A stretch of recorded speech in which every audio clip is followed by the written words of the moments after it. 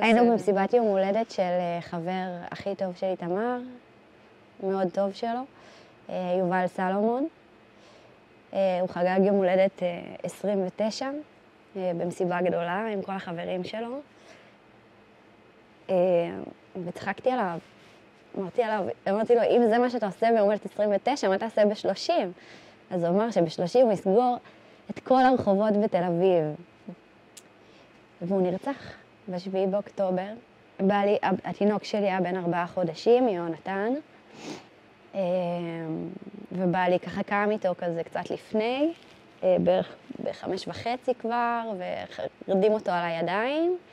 אני קמתי בשש בערך, ופתאום התחילה האזעקה. נכנסנו לממ"ד, שזה החדר שינה של אה, אדם, הילד הגדול שלי, הוא בן שלוש.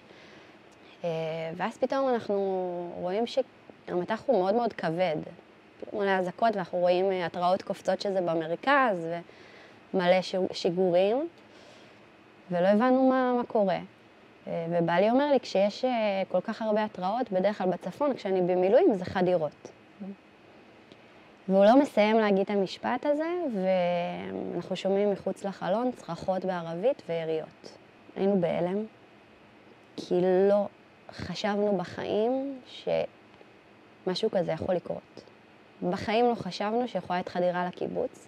אה, התקשרתי ישר למשטרה, אה, אמרתי להם שיש לנו מחבלים ממש מחוץ לחלון, אה, והם אמרו לי שזה יטופל. ויש פיצוצים מטורפים, כאילו מלא מלא מלא מלא אה, אה, טילים. אה, ואני מתחילה לראות בקבוצות וואטסאפ מלא אה, התכתבויות על זה שיש חדירה של מחבלים לקיבוץ, ואנשים כותבים שיש להם מחבלים בבתים, ו... ומתחננים כאילו לעזרה.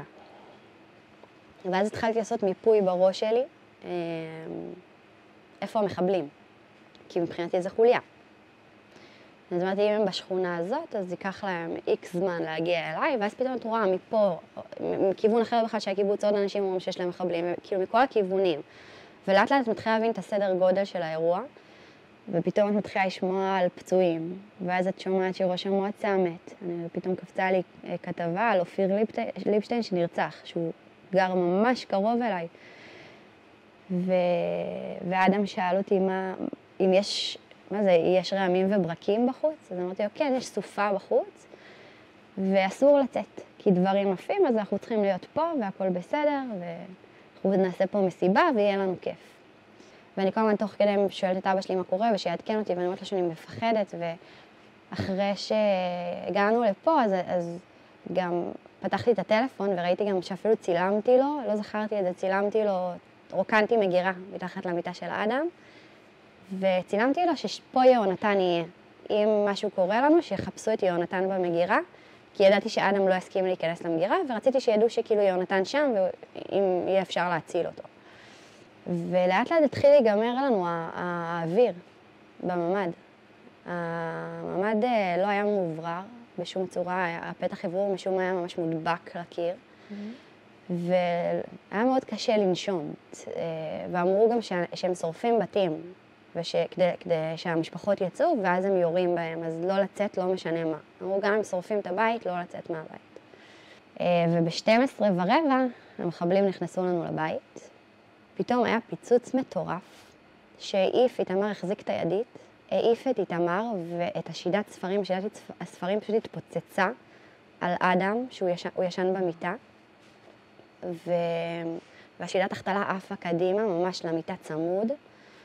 אני קפצתי על המיטה של האדם עם יהונתן, עם התינוק, אה, והחזקתי אותו, והתחלתי לעשות לו עיסויים, ואנחנו שומעים יריות מטורפות, אני- כאילו, שומעים יריות עלינו, ואני מחזיקה אותו ואני שרה להם, כדי ש, שלא יבכו, ויהונתן לא בכה, הוא פשוט היה בהלם, אה, תינוק בן ארבעה חודשים, והוא לא בוכה.